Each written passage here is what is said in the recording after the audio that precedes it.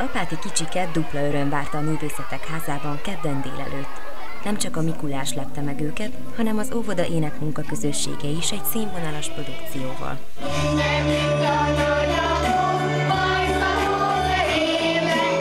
Idei Mikulásra Száncsengő című műsorunkkal készültünk. Már nyolcadik éve, hogy az önálló óvodai intézmény munka, ének munkaközössége Mikulás műsorral készül a óvodásoknak, illetve az iskolásoknak is.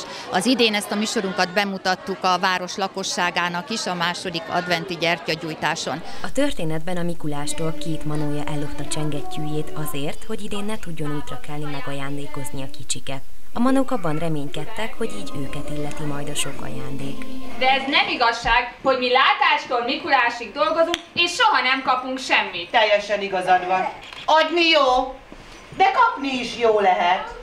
A Csigabiga, a Margaréta és a Szivárvány óvoda lurkói nagy örömmel fogadták az óvoda pedagógusok által bemutatott vidám előadást, melyet Pádárné Otta Mária írt. A mesebeli erdő lakói közösen derítettek fényt az igazságra. A történet végén kiderült a manók csalódottsága, megbánták bűnüket, megkerültek az eltűnt nyúlcipők, a Mikulás visszakapta ellopott csengőjét, ami elengedhetetlen volt ahhoz, hogy el tudjon látogatni a művészetek házába is, ahol már nagyon várták őt.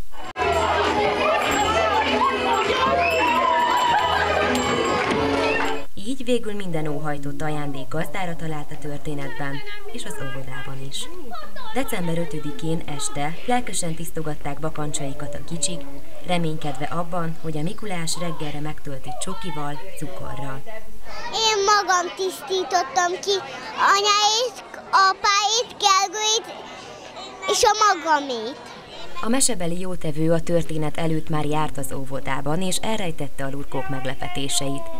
Így egy rövid elköszönés után folytathatta ajándékozó körútját szerte a világon.